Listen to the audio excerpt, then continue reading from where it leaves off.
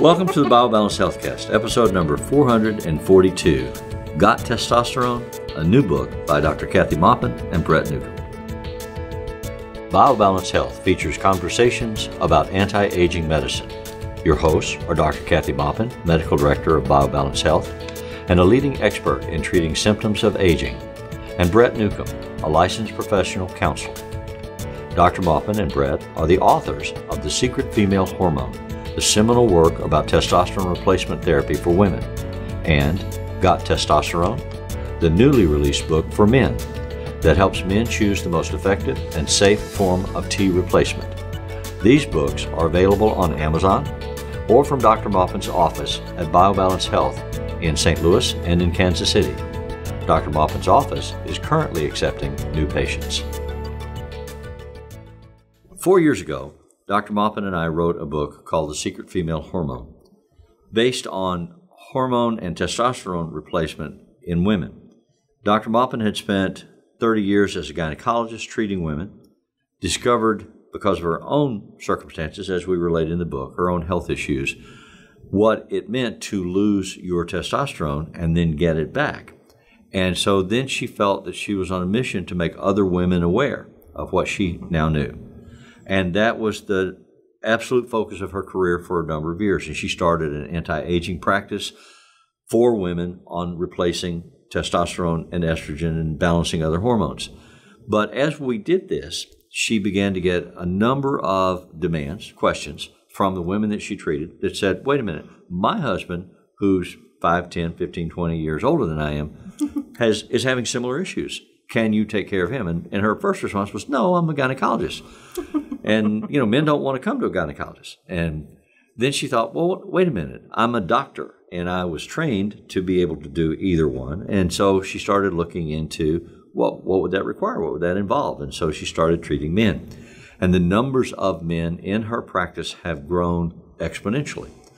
And for the last four years, when we go to medical conferences, we do presentations, we do talks, patients come in, we've been asked consistently, what about a book for men? So now we have one. Well, the other doctors wanted us to write a book for men Yes. too, because because one of the uses for our book for women, women, the secret female hormone, was that doctors who do what I do and replace hormones for women who are either over forty or in menopause, um, they needed a resource that they could say, buy this book or here's this book. Please read it. It will give you all the background information on what happens to you when you're 40, what happens to you when your ovaries are taken out, what happens to you in menopause, and how you can address it. How can, what you, you can ask your doctor about. But these doctors need help because it saves them time It's, it's to have a amazing how much patient education doctors need to do. We- yeah, we're As really- a patient, you don't think about it. we really should be trained as teachers and and maybe now they train doctors as teachers but Back in they the never ages. did they Yeah. never discussed that and Right. and and but we are teachers we are trying to teach patients how to take care of themselves they don't have to understand everything the background the molecular or whatever or the pharmacology they just have to understand how to take care of themselves and why they need it Well, you know, it used to be that it was enough to put on a white coat or to say, I'm the doctor. And, people say, "Do didn't this." challenge that. yeah, exactly. But as the whole genre of medicine has moved in the direction of being an informed consumer of Mm-hmm. your medical needs, people have gotten more or less educated, or they think they are, and then Mm-hmm. the internet's out there. Uh, and, and doctors are put in a position more of answering the question why or why not. Mm-hmm. Explain to me why you think I should do this. Explain to me what the risks are. Explain what the benefits are. And it, especially if you then specialize in this particular form Mm-hmm. of treatment, you get the same questions a hundred times a day right and you can recite it ad nauseum. I've, I've seen you do that, Mm-hmm. but it's also possible that you can hand somebody a book and say, "Read this book," and, and take it with you Mm-hmm. and look it up. When I was doing counseling, I would often have patients come in and say, "Can I record this?" Because Mm-hmm. I want to go home and listen to it two or three times during the week. And I would always say, "Yes, of course you Mm-hmm. can. It's your, you know, you have the right. I don't have the right." Uh, and so then they would do that because they wanted to take those words with them. because we're now offering that Yeah. we offer that to patients and say You We- record their. we can record it and give it give you Consultations? yeah on your consultation for an hour an hour consultation we can record this in case you think you aren't going to remember it all Right. or you don't want to take notes Right. uh, and we'll put it on a memory stick and give it to you Yeah. and you can listen to it or take it home there's there's really nothing magic about being in a doctor's office we're giving you information and telling you what the best way to treat your problem Right. is so we want to give you information that you remember properly and yes i misspeak sometimes yes i you know i stutter whatever But, you also give them the book. but So I also, but I, I give of- them that Yeah. their specific treatment and general treatment for all women or all men. right. But but we had this for the women, and and then I was treating men, and they'd say, "So, what do you got for me? Right. Why don't I have a book?" And you know, they wanted equality. I understand that. I was working for them the other direction in the 70s.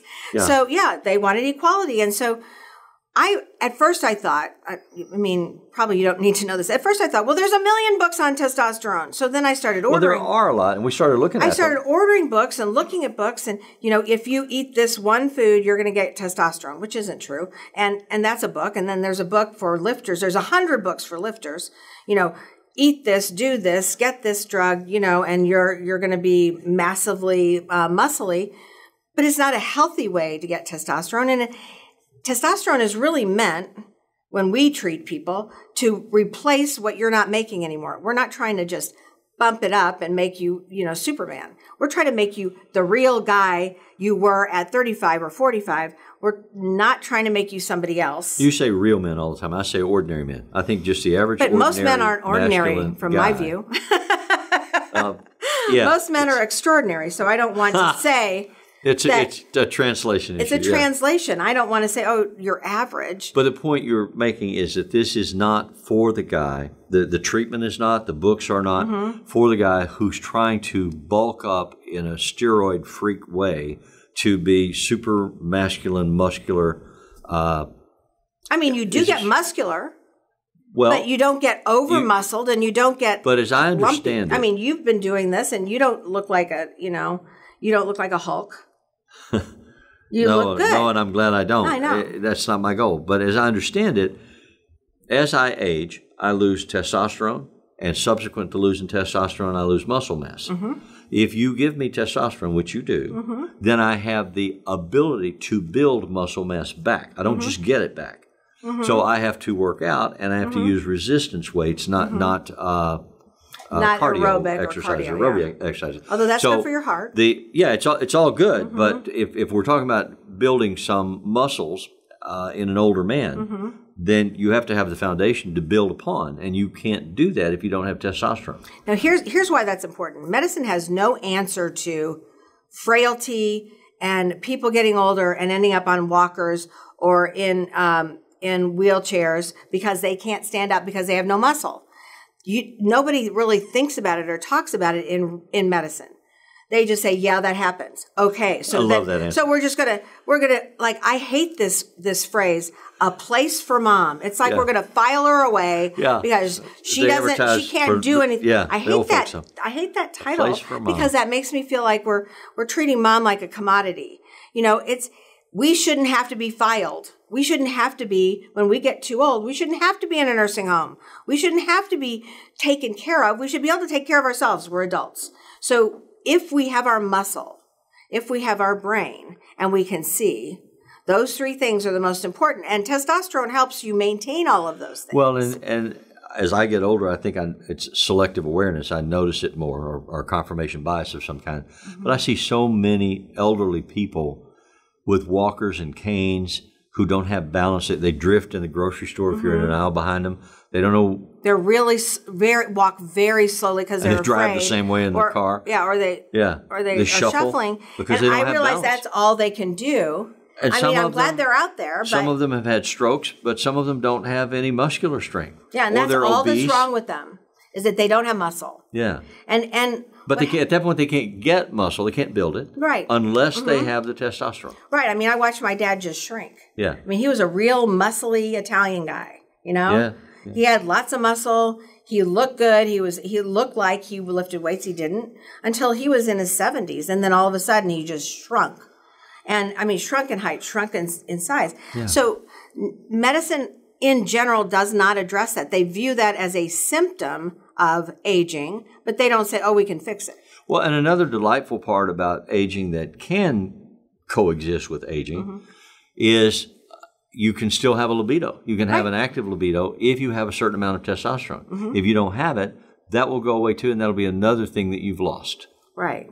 Uh, and if you don't want to lose that, Well, I mean, there's there is no really good reason why men and women who are who have a partner or or have been married forever can't have sex throughout their lives. There's there just is no reason. I mean, even in pe- people who have had prostatectomies and and have can't get an erection on their own, if they have a libido and want to have sex, which is testosterone, they can have an implant so that they can have sex. I mean, there are things well, we there's several do. compensatory levels of involvement that you can go through as a male if you have the sex drive. Well, I think it's funny that medicine has addressed getting an erection and putting an implant in, but they Right. haven't addressed libido. Right. And they act they still act like testosterone's it's crazy to replace testosterone. They don't even look at the fact that it keeps you healthy and it staves off Well, because one of the outcomes is the production of oxytocin, Mm-hmm. which is the feel good hormone that comes along with the feeling of sex. Right. uh, or, or sexual release, Mm-hmm.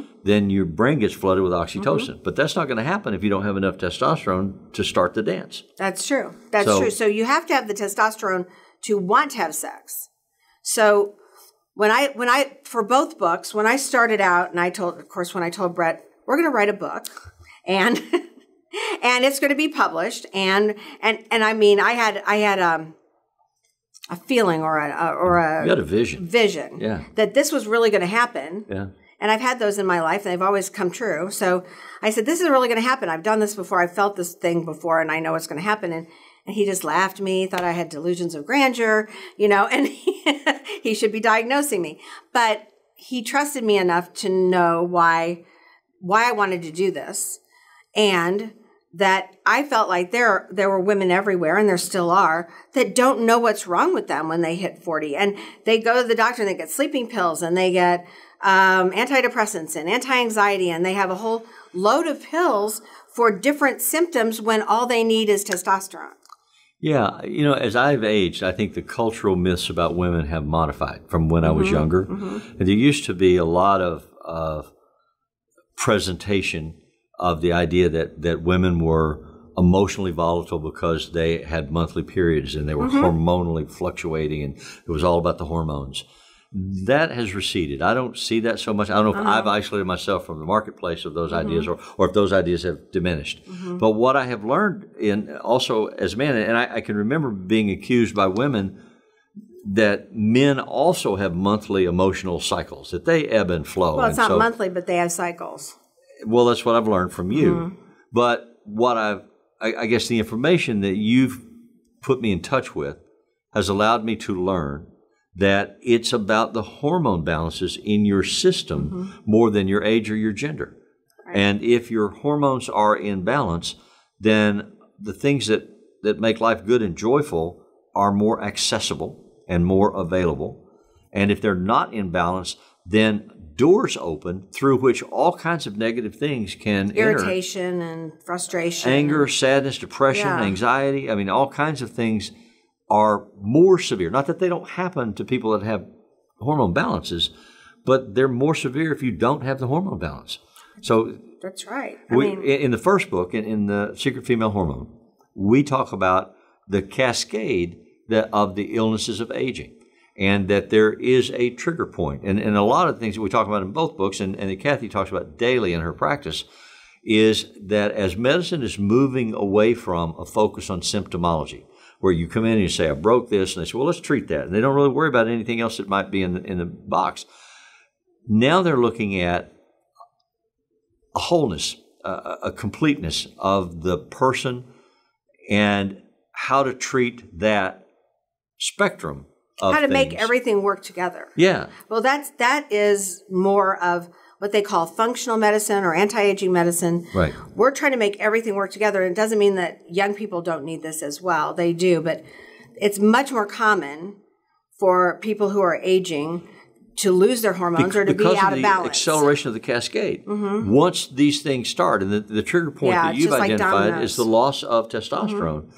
then all these other things start to happen that just and and your time scope condenses. I mean, at 71, you I know my life expectancy is 85 on average statistically. Yours So isn't. I'm Yours looking- is now longer. Well, that's that's what you keep telling me. I hope you're right because otherwise I'm looking at a 15 year window. I know, doesn't- And I want to still be active and functional mm-hmm. for 14 and a half years or 15 years. Mm-hmm.